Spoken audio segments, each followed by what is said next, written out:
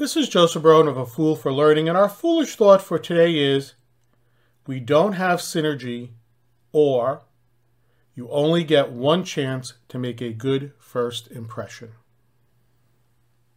Not too long ago, I attended an online networking event, which was attended by over 70 people.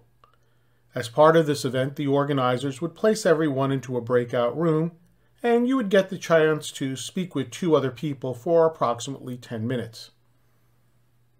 During one of those breakout rooms, I met someone who, after I told him what I did, asked if I could create a curriculum and lesson plans.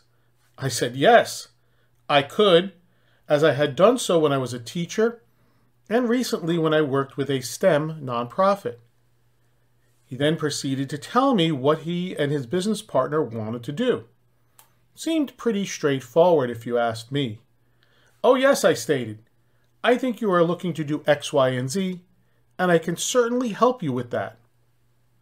With that, I got an immediate and very sharp, no, that is not what I want. I apologized and asked if we could have a brief meeting to discuss exactly what the needs are and to see if I understand what he's looking for and if, if I can assist. And if I can't, I know of others who may be a better fit for him. He seemed fine with that, and I promised to write him and set up a meeting. The next day, a Friday, I reached out to this person via email and via LinkedIn. The weekend came and went, and no answer. I attempted to call, but there was no option to connect with him. So I wrote him a second a second time with the typical wording that, you know, maybe my email probably slipped through the cracks, etc. Still, after a few days, no reply. So, I decided to get up off my butt, get out of my chair, and pay him a visit. And so I drove up to his company's brick and mortar place, which was about 20 or so minutes away from where I live. I entered the establishment I greeted him and reintroduced myself.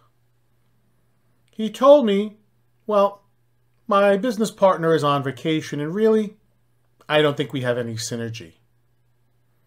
At first, I was taken aback by his response, and so I asked him for a meeting when his business partner is back, even if it's short, so that I can better understand what he needs and wants. Again, I explained that for whatever reason you feel that I am not the right person for you, I fully understand. And I do know of other trainers who may be more suitable for him. I handed him my business card and even gave one an extra one to him for his business partner.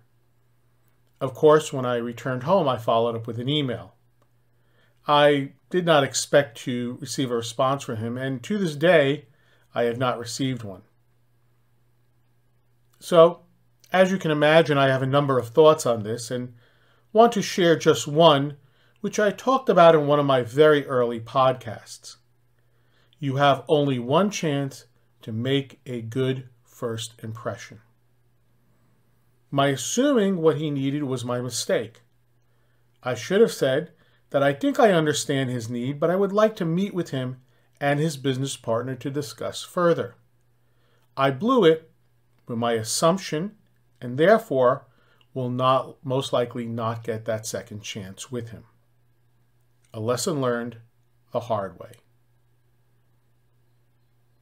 If you wish to connect with me to assist you and your organization with an appropriate learning solution to meet your business needs, please visit my website at afoolforlearning.com. This is Joseph Barone, the CEO for A Fool for Learning, signing out.